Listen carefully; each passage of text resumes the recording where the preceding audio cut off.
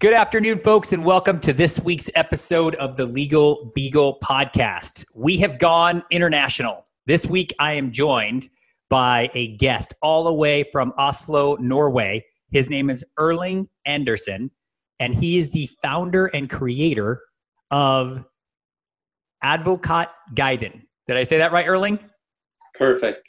I got a thumbs up. It's more uh, easy to pronounce the lawyer guide which is actually what that stands for. This is a legal platform that erling and his team has roll, have rolled out across uh, norway and they're ready to roll this out now across europe and hopefully one day we'll see it here in the united states. Erling welcome to the podcast. Thank you so much jonathan. So my understanding is that you are a serial entrepreneur. You had a social media network that you had built and then sold in Norway. You have a, I think it's a uh, digital, what is it called? Consultancy uh, called Omega Media that you have there. And, and you, at some point in your life, decided to also go to law school. How did you make all that work? well, that's a good question. You know, I I, I started a social uh, media company, kind of like Facebook here in Norway, called Biip.no, and that turned out to be a huge success. We gathered approximately 10% of the Norwegian population. And this was way back in 2006, 2007. So we were quite early. We were kind of competing with Facebook uh, going global, but unfortunately, Zuckerberg beat us. um, but um, then we sold it for $12 million in 2008. I was 25 years old, uh, got a lot of money I think the the the English football player George Best said it best. He said that I used uh, half of the money on uh, hookers and drugs, and then the the rest I just squandered. How did um, why why didn't you at at that point just call it a day? That would be everyone's dream to be able to retire at age 25. What what prompted you to to jump back in and, and develop another company after selling off your social network? Uh, well, I kind of discovered that I was miserable um, with just money and no, um, no, nothing to, nothing to dream about really. You know, when you're an entrepreneur, when especially in the IT field, I think, um, I think the journey is, is more valuable than the destination in a way. So starting something, working on it, uh, doing your passion every day, that's what counts. So after a few years, I decided to go uh, back um, into the IT startup world, and then I started my own company. And um, the reason why I became a lawyer and later an attorney is because uh, I, four years after we sold the company, the Norwegian tax authority came after me, and they wanted more. Uh, tax basically. So in Norway, we have a tax system which works pretty simple if you if you get a salary, you're you're taxed approximately 50% of your salary, quite a high bracket. And then if you sell stocks, you're you're taxed at 28%. So the point with our deal, the Biip.no deal, was that a lot of the payout was contingent on us keeping uh, or continuing to work. It's called an earnout agreement. Lots of lawyers will know this term. It basically means that you keep working for some period, like one year, two years, three years, and then you get paid kind of a premium or at least some of the money that you receive is not paid out in full unless you keep working. It's kind of a, uh, a whip to keep the entrepreneurs working right? So the norwegian government saw that as me trying to evade tax law uh, because I, I taxed 28% because i was selling a company. And they said hold on a minute. You're, you're, you have to keep working for at least two years so that means that all of the proceeds from the sale should be taxed as uh, salary. Um, so they slapped me with um, a sal- um, tax bill of approximately $500,000 extra on the sale. And I just felt that was completely unreasonable. So I hired um, an attorney here in Norway, one of the best. You know, I had lots of money, so I could hire, afford to hire the best. And he, he wrote one letter and he charged uh, $15,000 for this one letter. It was like four pages long. And I told the guys I work with, like, this is, this, this is probably going to take years to settle with Norwegian government. We can't afford to go forward with this super exp- expensive lawyer. I think I'll just I'll, I'll do some courses on the university, and I'll take over the letter writing and see where this goes. And then I completed law school here in Norway in half the time. It's usually five years. I took it in two and a half years. And then ultimately, I won the case against uh, the Norwegian tax authority. So I didn't have to pay anything. So, but you went to, you spent two and a half years in school so that you yeah. could argue your own case and prevail. That's fantastic. What a story. Well, I think yeah. most people probably fell out of their chairs when you said the tax rate on income taxes is 50% of your salary in Norway? Yeah. Wow, that is startling to hear because in the US people argue that 20 to 25% is absurd. So to hear it's more than double that is is uh, a crazy number to just comprehend. Yeah, yeah. I mean, I think it's quite high also, but you know, Norway is a social democratic um, monarchy, and we do. There are some nice trade-offs for the high tax bracket. You know, free university, free healthcare, everything is free basically, which you get from the government. But of course, you do pay for it uh, indirectly. So you go to law school, and the intent behind going to law school was so that you could save legal costs on fighting the Norwegian government for this tax penalty. You get out of law school. Was there an intent to go practice law, or was it simply to just defend yourself against this uh, this tax case that the Norwegian government brought against you? No, no, it's just uh, self-defense, hundred percent self-defense. Uh, I didn't have any plan going forward to actually work as a lawyer. But when I gotten the the degree, I was like, well, I should do something about this. And I, you know, I came from IT, so uh, I specialized in kind of IT law and actually uh, tax law because uh, obviously I, I, came to learn quite a bit about it. So I was kind of a tax slash IT lawyer, which is a good thing to be uh, as a lawyer because it's it's a high income bracket. You you earn quite a bit if you manage to to be successful in that area. So I worked as that for I think three years, um, and then I, I kind of said to myself, well, it's been a good run. I, I, I feel it was immensely um, um, satisfying to work as a lawyer and, and attorney, but ultimately I just wanted to go back to IT and startups and do uh, do stuff like that again. So, why the lawyer guide? What did you identify in the marketplace that was missing? Why did you bring this concept to reality? Well, the thing I realized, you know, I came with IT background into the law, law, uh, legal field, and I talked with so many colleagues. I was asking them, like, how do you do client recruitment? And they were all telling me, well, we do this the the normal way, the way you're supposed to do it, by going to conventions, doing talks, writing articles doing word of mouth.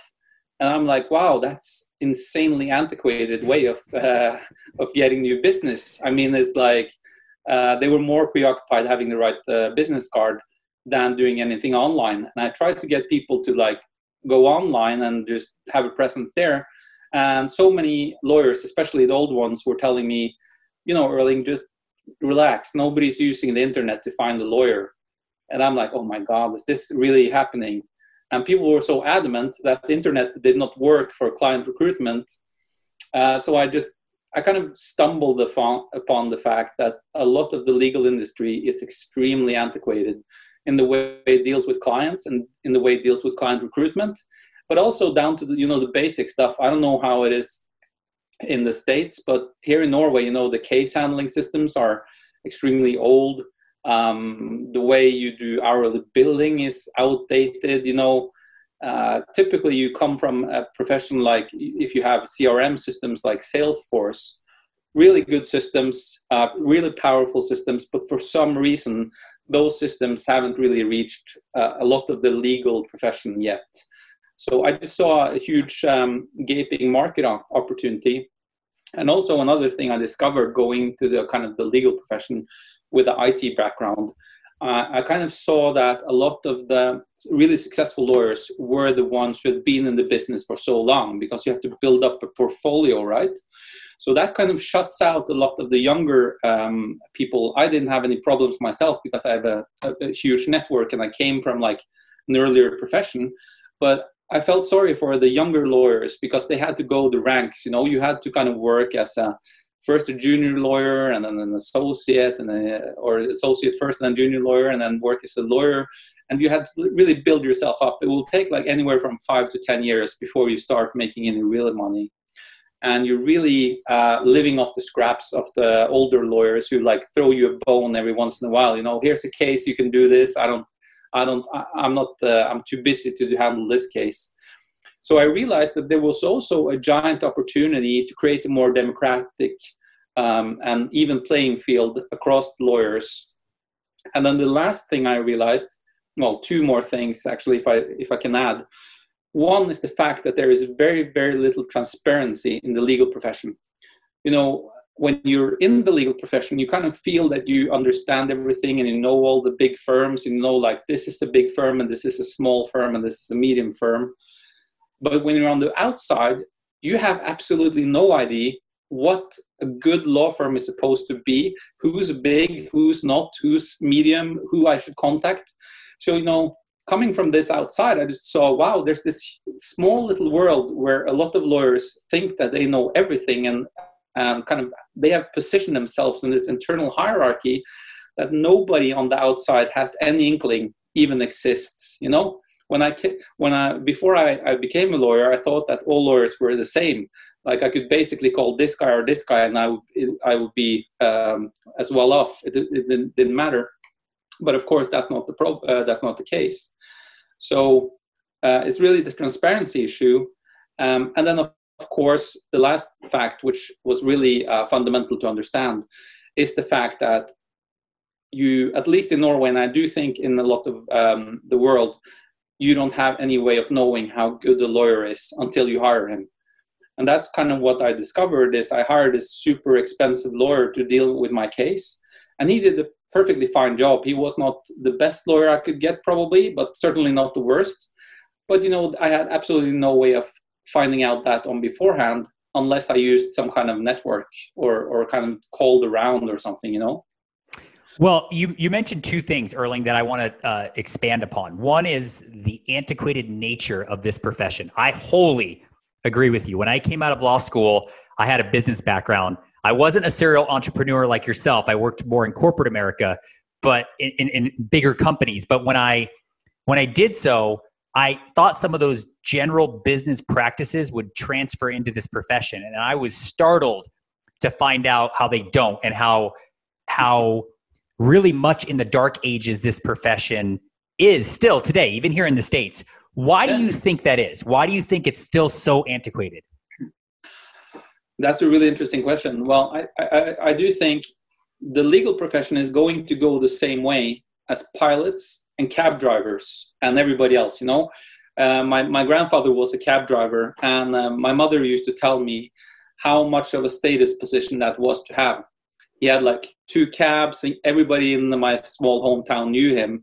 And that was a really um, highly regarded profession because it meant you had a car you were your own contractor you could decide your own hours you were earning quite a lot of money. It was, it was like a, a, a kind of a big deal being a cab driver. But what happened was that there was an influx of people who wanted to work as that of course and the rates dropped and now uh, probably only a few people are earning money in that profession. Um, and then that same thing happened with pilots. You know, you know pilots used to be a highly uh, recognized uh, profession, and to a certain degree, it still is. But the fact that is that it's been um, industrialized. It's been uh, there's huge competition between pilots, especially here in the um, EU, at least Europe, like pilots from um, um, Baltic states and stuff like that, taking um, lower wages and driving the reputation maybe of the business a little bit down. And I think the legal profession has been kind of an isolated, protected little nest, you know, of people with long education. It's impossible to get into the profession unless you do you follow the, the, the ordinary route. And there hasn't been any kind of viable competition. And the people who run the industry, they haven't had any reason to introduce more competitiveness into the marketplace. Everybody's been earning a lot of money just keeping it the way it is you know? So i think that's the biggest reason like nobody has had the reason to kind of revolutionize the legal industry yet. That's an interesting point because here in arizona where i'm from this just changed. This is the first state, I think, in the entire country that is now allowing private money to participate in owning law firms. And, and that's a big, big issue here because for the longest time, to your point, it was you could only own a law firm if you had a law degree. So there was a, a hurdle you had to get over in order to even own a law firm. And then there was this circle, this club, if you will, of people that were like, look, we all make a lot of money. Let's not rock the boat.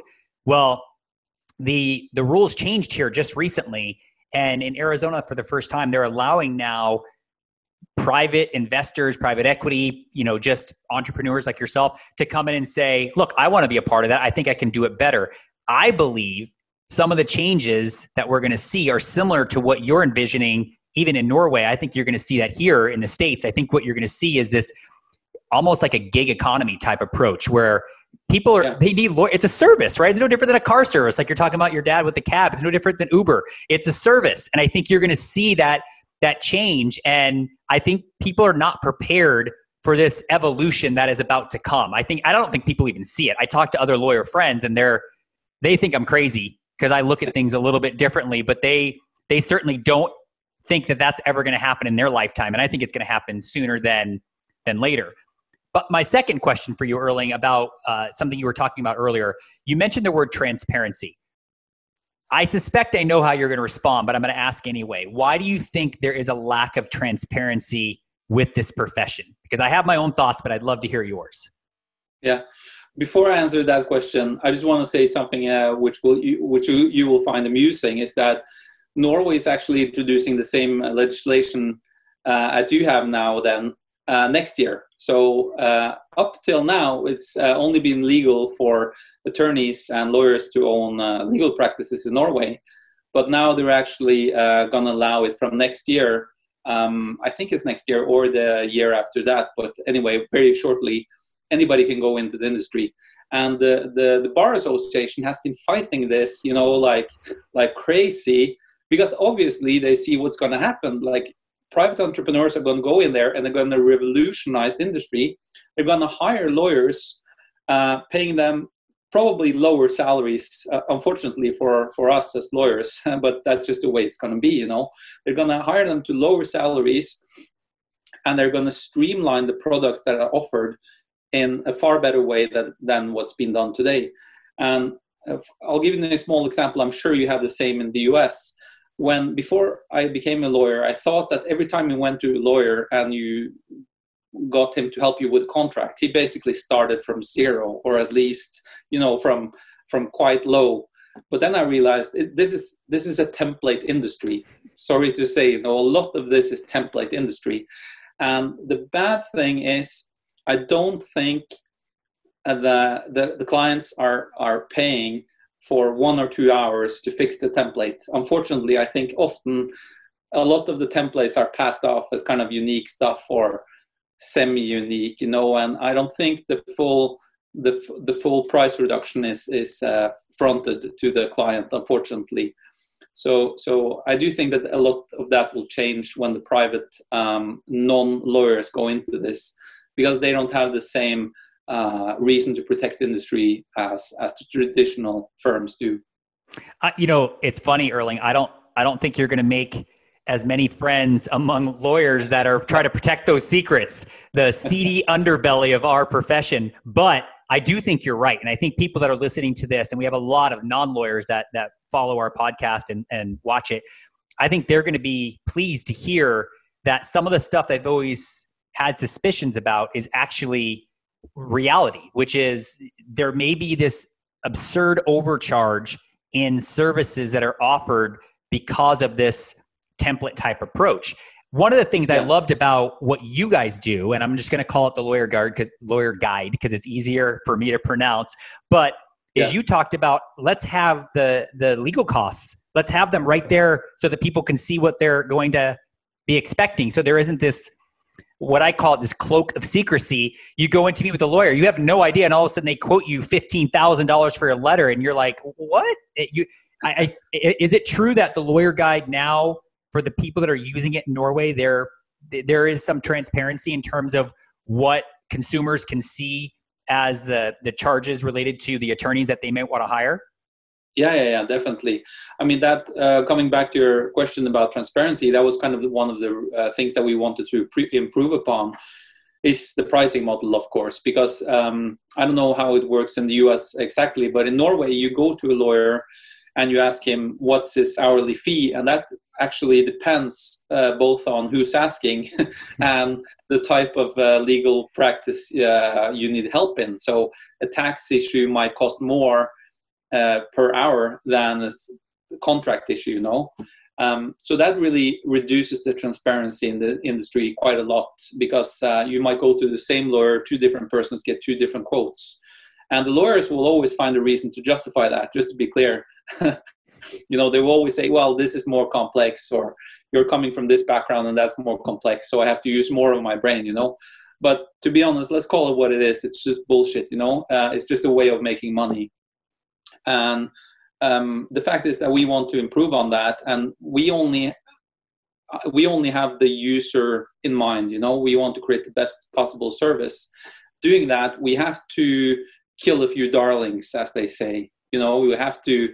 So what we started doing now is we give them transparency on three different levels. If you're a cheap lawyer, a medium lawyer, or an expensive lawyer, uh, because that gives you some feeling of the price. But we are going to introduce even a stricter uh, approach to that, where you actually state your price on the profile, and that would be considered a binding offer from the law from the lawyer to the general public. Uh, but um, of course, there's a lot of resistance to to that uh, level of transparency. I love your candidness. I think that so in the the work that my law firm does, it's all uh, personal injury work. So it's people that get hurt. And I don't know how it's structured in Norway, but here, the typical fee agreement between a client and our firm it would be contingency. Basically if we can recover something for the person that was hurt we get a percentage of that. When i started when i started my law firm and i built my website i said i'm going to put my fee structure on my website. And i had a countless number of attorneys tell me not to do it. That's a mistake. You're, and I was like, why? I'm, I'm being honest. This is what I'm going to charge. That way, when I'm talking to them, they could already see it on the website. We've already, I've given them examples of how that would, that fee may play out if their recovery was X. This is kind of, you back out the legal fees and this is what they would receive. People were really against me doing that. I think it was, it was the bare minimum that I could do. I mean, I, I think it's, why wouldn't you want to share what you charge. I can't think of any other business.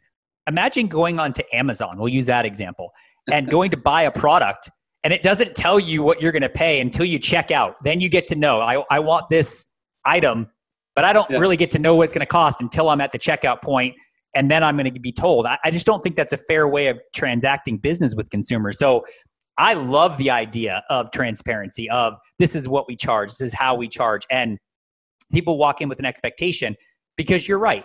There has been this surplus of money that has accumulated in this profession because of this cloak and dagger type approach. And and I'm probably not making friends either, but it's the truth of of the matter. Yeah. And I, I, you're right. Every lawyer can justify why they charge, how they charge, and they have reasons for doing what they do. And I'm not taking away from that, but I think it does distract that level of transparency yeah i mean whatever you say and whatever way you you kind of justify it and and as you say i can totally understand why it's done and etc but the fact that is that it's not consumer friendly.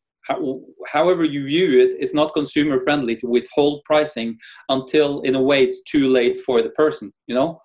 So uh, so that's one thing we introduced and then we introduced a kind of a filter where you can filter lawyers who give um, uh, free consultations and free like first hour uh, free uh, so that you can kind of get the feel for the lawyer because in norway some lawyers will not even give you anything free. They're like from the minute i start talking i'm going to bill you. You know? They even probably bill you for giving the price list you know? So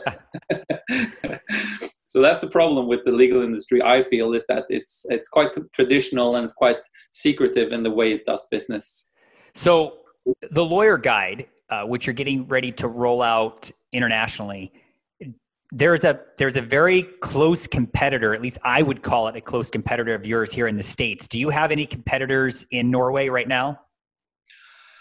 No, I mean uh, to be honest, most most of the EU or Europe is kind of virgin land with regards to competitors. Um, I know of a of a site in the US called Avvo, which That's is the one. similar. That's the Yeah. one. Yep. That and we looked a little to Avvo but we really wanted to improve upon Avvo because what I feel with Avvo uh, this is just something uh, from a guy standing outside and looking in in a- in a way, is that. Um, I, I feel the the transparency could be even better there because it's hard. At least I tried to find some bad reviews, but it was very hard. Uh, everything was kind of drowned out in a lot of positive stuff, um, and I'm sure there are a lot of lawyers there who have lots of positive stuff. But we really want to be just as visible with the negative stuff as the positive stuff. So we have a huge empathy, emp- emphasis on the um, on reviews, both good and bad, and the way we moderate these. So our our moderation of reviews is actually quite unique, I would say. So. Uh, can you just uh, explain to me in, in a few words how the review system on Avvo works? My understanding is that you can recruit your former clients to post reviews after the representation ends, and then it gets posted, and there's a there's a, a scoring system out of ten. So I think yours is a five star. Is that correct? Five stars. Yeah. Yeah. So in on Avvo, it's it's ten it's ten points. You could be a eight point five or a 9.0 or a, a 10.0. and the more reviews you get combined with some other things, the higher your ranking goes. And the idea was supposed to be that you everyone should want a 10.0 uh, attorney. The problem is, I don't know of anyone, general consumer, that really knows about Avvo, to be honest, that would ever Yeah. go there to post a negative review. If they're going to post a negative review, they're going to go to Google and post a negative review because Google has a rating service available for every business. And so they'll go there. But I've never had a negative review on Avvo because, frankly, I would never refer someone there that had a bad experience. I would try to resolve it internally, but I can't stop them from going to sites like Google. They've never had, they've never heard of Avvo. That's that's the biggest challenge with Avvo is I think they think they're bigger than they are and have more impact in the industry than they really do. And to be honest, um, the way that they do reviews, and you just confirm my suspicion, is that that's a terrible way of doing reviews. And I'll tell you why. Because it, it lends itself to lawyers actively recru- recruiting positive uh, clients. You know, if, if you did a shit job for me, you're never going to ask me to leave a review on Avvo, and you have to send me the link, which will enable me to review you. So our system works completely differently. On our platform, anybody can review anybody. And what happens is, so imagine you, you're a lawyer and I want to review you. I go to your profile, I click leave review, I write a shit review of you. Terrible lawyer, don't use him, please stay away, uh, whatever. And I click send. Then what happens is that you are sent a notification on the platform, but we don't tell you the review. We don't tell you the score. We don't tell you anything. We just ask you to confirm have you worked for Erling Andersen? Yes or no? Nothing else. And of course, you can know that I'm not positive, but maybe you don't. Maybe you think I'm I'm real a real fan of yours. So you click yes, and when you click yes, we publish that review, and then you can see what the score is um, and what I'm writing about you. And then you can leave a, uh, a reply to my review saying like, "Thank you for your comment about my work. I'm I'm sorry that you- you're not satisfied. Um, please uh, contact me and we can try to resolve it or something like that. You know, just be professional. Uh, so what happens on our platform is that the, the reviews are actually a lot more truthful because you have both the good ones and the bad ones intermixed, and there's no kind of uh, filtering on beforehand on who's positive and who's not. Well, I think that's a, a fantastic idea. And when I was reading about the lawyer guide, I, I recognized the verification process as a positive. Look, I don't want to be a 5.0 because I think any business, I'm suspicious as a consumer when I see someone who has all five star ratings.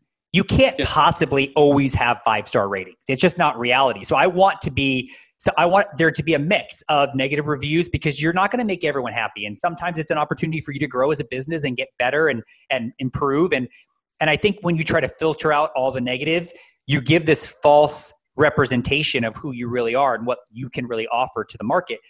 But I want to ask you a, a thought. I got had a client that had a bad experience, and he found a service through Google that would spam my Google reviews. I was getting probably 15 negative reviews a day from just aliases. And I, tra- you know, we called, I had a team of people get involved. I had, you know, we called Google, we had conversations with Google. They don't take reviews down because they have no way to validate or verify that this is an, an actual client or an actual customer of yours or not. And so I had to, dr- the only solution Erling, I'm not kidding. The only solution I asked Google, I said, so what you're telling me is in order to counterbalance all these fake reviews, I have to create fake positive reviews. And they said, well, we're not encouraging that, but that's really the only way. I'm like, so I said, I, Domino's Pizza, uh, huge companies don't get negative reviews at the clip I was getting them. I'm a small law firm. There's no way. These aren't real clients.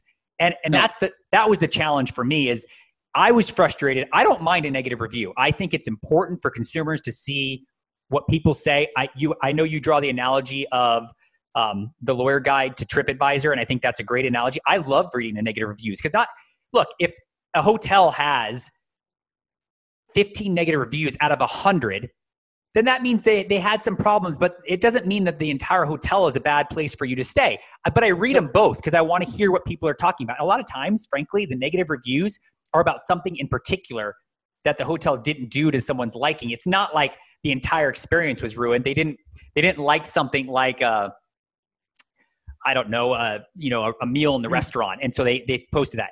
I, yeah. I think it's great. I think it's great to have all that. What was frustrating to me, and I imagine many businesses, is when people that are just frustrated in general start taking out their frustration on a business, and there's no relationship between the the business and the consumer. Yeah, so we have an active uh, policy on that, saying that you have to have have been represented by the lawyer in question. So if if there's a false review on our site, you can complain, and we will check it out, and we will actually reach out to the client and ask him to send um, some kind of documentation showing that he's that you have worked for him. So that could be hour sheets, that could be a letter of uh, uh, commencement of the task, emails, whatever.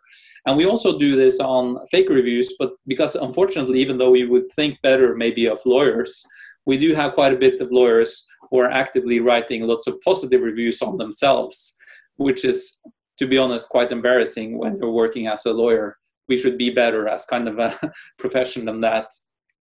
Um, so yeah, we try to moderate that, and of course, we are sensitive to the fact that some people might be leaving shit comments, and I'm, I feel the exact same way as you.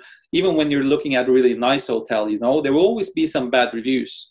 But you look at the bad reviews, and often the bad reviews are come from bad people. You know, so you instantly kind of recognize it. Oh yeah, this guy is complaining about like uh, the soup or something like this and it's a five star hotel everything else is perfect but this, this one soup made it a one star experience you know it's not very plausible um, but that's why that's why a good bad review is very important you know when somebody leaves a really thoughtful bad review saying like this guy he blatantly overcharged me and i have documentation on that or um, he forgot to appear in court, for example, or something you know really uh, uh, impactful, then that review can really guide other people from either selecting differently or at least clearing that on beforehand before um, engaging with uh, with the lawyer.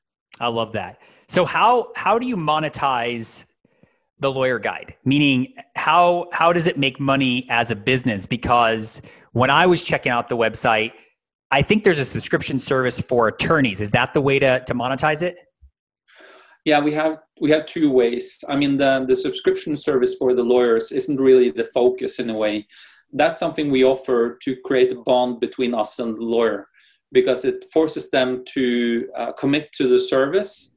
Uh, we so basically we have three kind of levels of engagement. First off, we list all lawyers in Norway on the platform, so everybody has their profile if they like it or, not.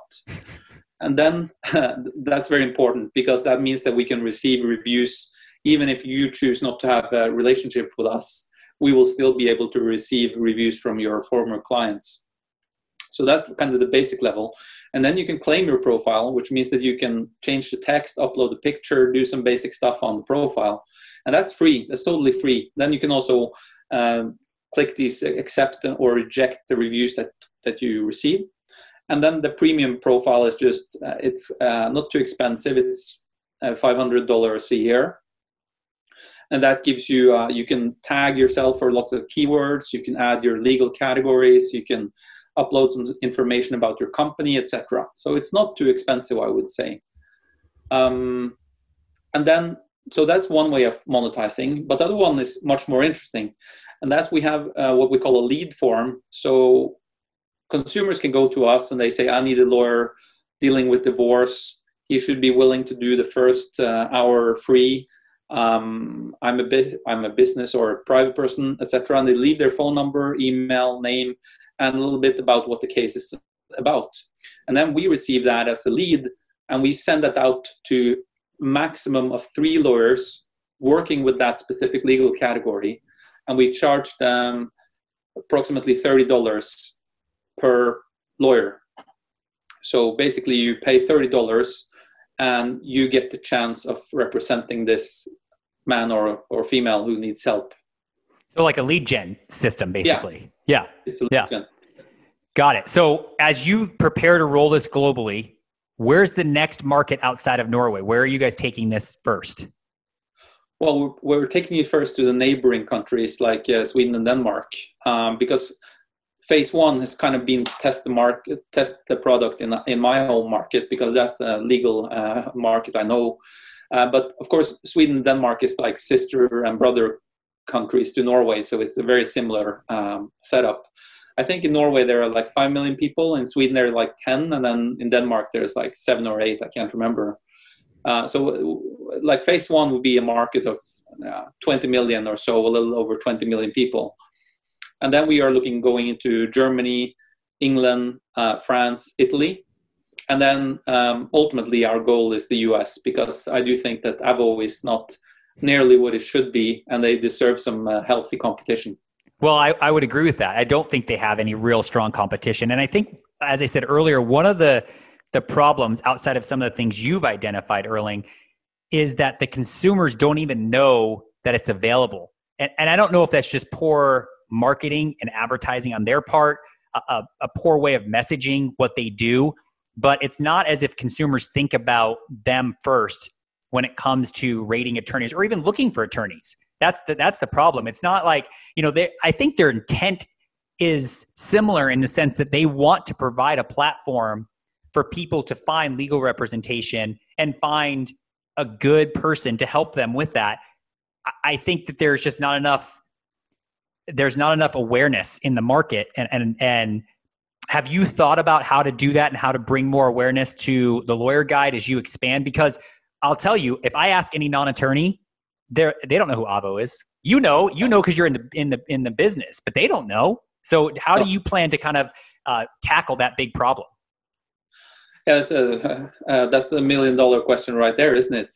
I mean, uh, no, but I agree with you on the Avvo thing. I mean, um, we researched so much before we stumbled across Avvo.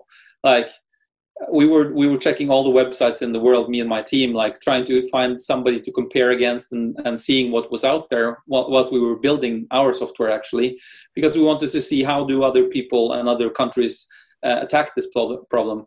And then we found Avvo by chance but it was quite hard and it doesn't seem like a consumer directed website to be honest. It seems more directed towards the lawyers themselves to be honest uh, for some reason, that's just my opinion of it, because they don't accept uh, reviews from anybody. You have to get an invitation from the lawyer themselves. So that kind of, in my view, kind of limits the the attractiveness of the platform for the consumer.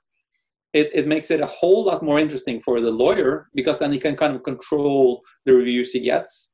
But that really detracts from the user experience of that website. So I think number one, we would be we have a more transparent uh, model going forward, um, and we're also really focusing. Everybody does this, of course, but I do think that much of the struggles uh, is in Google because um, um, a lot of people Google like you know lawyer New York or lawyer Los Angeles or tax uh, lawyer, whatever. So our we have a really strong prioritization on uh, becoming visible in Google. That's extremely important for us. And then, of course, we would be looking to do uh, media partnerships in all the countries that we go into, because we're looking kind of at uh, on a market basis. Like we're not going to become TripAdvisor, who who kind of offers the whole world in one place. We want to go into each and every single market, because all of the legal markets are quite different from, uh, even though there are lots of similarities, there are also lots of different um, rules and regulations on how the legal industry is handled. So I think we have to adapt to every single market we go into. I'm excited to see the expansion. I'm excited to uh, see you roll into the states one day, so I can say I interviewed Erling before he was uh, a big hotshot in the legal platform space, and and you won't remember me then, and you'll be like, "Who? This guy isn't worth my time." But before I let you go, what are some other changes or things that you see happening in the legal industry? And what I mean by that, as a serial entrepreneur, I imagine your brain is always going, you're always thinking about ways to better things and offer solutions where there are problems. What are some of the things you see occurring in this industry that may change over the coming years?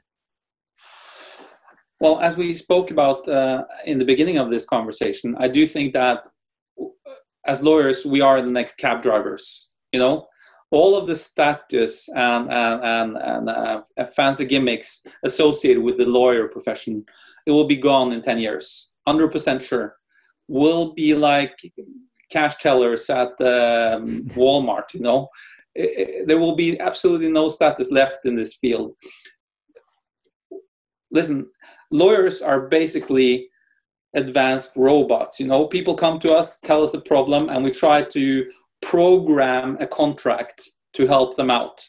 And the fact is that 80% of the work, and I'm speaking from my own experience, 80% of the work that I did as a lawyer, anybody could do.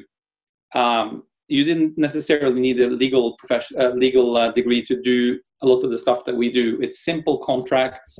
It's a lot of human counseling and psychology, actually, you have to comfort people um, there are so many th- things that we do that's not directly related to the, the, the education that we hold and the stuff that we do need education for a lot of that can be done better by robots so what will happen is that our profession i'm 100% sure about this it will be chopped into lots of small pieces with some people handling uh, like a, a, kind of a legal secretary function that will do a lot of this, and robots will do a lot of the contracts and stuff that we do. Also, with the private moving into the industry, I do think that uh, they will drive costs down and prices down. Uh, so I think there will still be a definite uh, market for especially the large firms um, because they're very rooted into the large corporations. You know, there's a reason why it's called to lawyer up. but I do think that a lot of the, the work that we do will be outsourced and taken over by robots, unfortunately.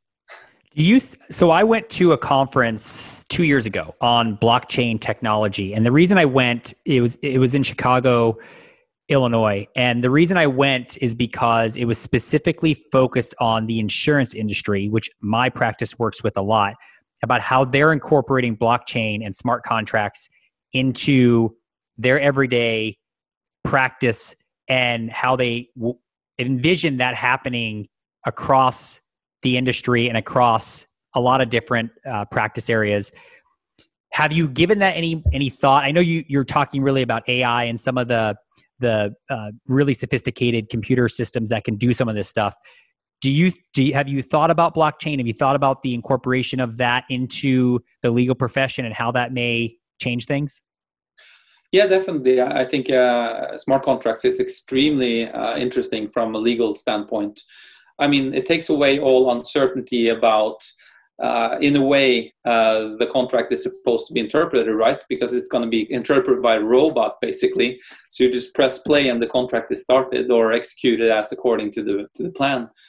You know, there's so many uh, spe- uh, interesting uh, developments. I don't know if you heard about something called Chainlink. I have, yes. Yeah, so Chainlink is really interesting because it kind of it provides the necessary layer between blockchain and the real world.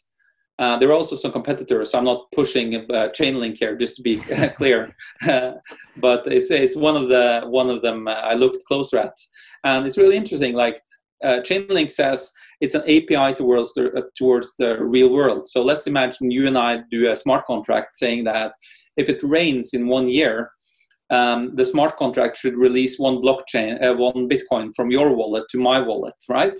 And then you need some kind of way of communicating with the real world. And what uh, Chainlink does is it provides the link between the, the blockchain ledger and whatever API you want to pull into that. So, for example, the Weather Channel or Weather.com. So it just it you basically press play on the contract, and one year later it checks. Okay, is it raining? If yes, then release um, then release the Bitcoin to Erling or Jonathan. So I think that's really uh, exciting. I agree. I, the way they described it at that conference is blockchain is like the superhighway and Chainlink are like the exits off of that, right? The exits being the the little the actual contracts or uh, agreements that are being made that are self executing through the contract itself, but that plug into the superhighway, which is the the blockchain to actually self authenticate and and to allow for these uh, the verification process to to evolve. I think there are very few people thinking about blockchain like you and I are I think there are fewer people that actually have law degrees like you and I do thinking about blockchain. I was the only lawyer at this convention, the only lawyer at this convention of, I think, probably 500 people because I don't think, to, to your point, backing all the way up to the beginning of our discussion and the, the word antiquated, I don't think people think these things are a reality, that they are going to change the way that this profession operates. And I'm glad that you are on the cutting edge and envisioning some of these things and creating a, a service that will only help. It's not going to detract from the legal work that is done. It's only going to provide a better connection between the consumer and the lawyer that's trying to do the legal work. And really, it levels the playing field, as you said, between the law firm that it's 100 years old and the lawyer who just got out of law school. Because now, if they do good legal work, their reputation will allow them to acquire more clients, and it won't be this this uh, uh, this older thought process of I have to go to a law firm that's been around for a long time for the sake of them being around a long time. You really get to uh, show off your skills and your abilities, which will supersede just the length of practice that a lot of lawyers can't make up for in any sort of quick amount of time. So I think it's fascinating. Erling, I think what you're doing is incredible. I hope to see it here. I will be one of the first people to set up and subscribe and claim my profile. I welcome the negative reviews as well as the positive, as long as they're from actual clients, because it only allows us to get better. Uh, please stay in touch. Please keep me posted on your progress. Good luck with your expansion in 2021. And um, I'd love to have you back as you guys make your way into the United States.